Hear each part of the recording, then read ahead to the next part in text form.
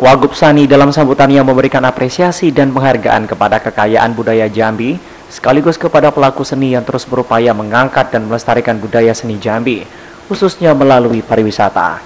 Karena itu, ke depan, Sani berpesan agar seni budaya Jambi harus terus dikembangkan, terutama melalui media didik untuk generasi muda, serta memastikan mereka mendapatkan pembinaan seni dan budaya.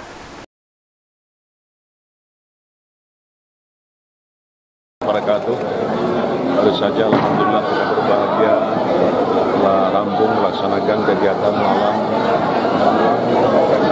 seni melalui Jambi di tahun 2004 ini dan memang ini untuk ada kaitannya dengan Jambi yang kesekian kali.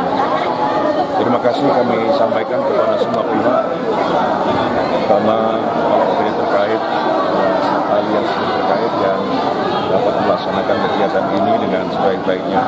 Tentunya kita bukan sebatas umum belakang, tapi intinya adalah untuk lebih menggugah, meningkatkan spirit semangat bagi pencinta seni dan budaya, khususnya dan masalah Jambi untuk bagaimana menggali, sudah digali, kita lestarikan, kita jaga semangat seni dan budaya Jambi. Karena itu adalah suatu ciri khas daripada uh, bagaimana masyarakat Jambi. Demikian, terima kasih dan Alhamdulillah malam hari ini